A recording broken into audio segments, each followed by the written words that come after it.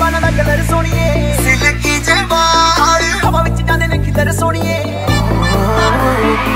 ਕੁਲੀਆਂ ਦਾ ਹਾਸਾ ਤੇਰਾ ਕੀ ਕਹਿਣੇ? ਤੇਰੇ ਨਖਰੇ ਦੇ। ਲੱਖਾਂ ਦੀ ਬੋਲੀ ਲੱਗਦੀ। ਅੰਦਾਜ਼ ਤੇਰੇ ਵੱਖਰੇ ਤੁਸੀਂ ਤੇ ਪਤਾ ਕਰੋ ਕਿਹੜੇ ਪਿੰਡ ਦੀ ਹਾਂ ਕਿਹੜੇ ਸ਼ਹਿਰ ਦੀ। ਲੱਗਦੀ ਨਾ ਦੀ ਆ। ਤੁਸੀਂ ਸਾਧ ਨਾ ਹਸਦੀ ਆ।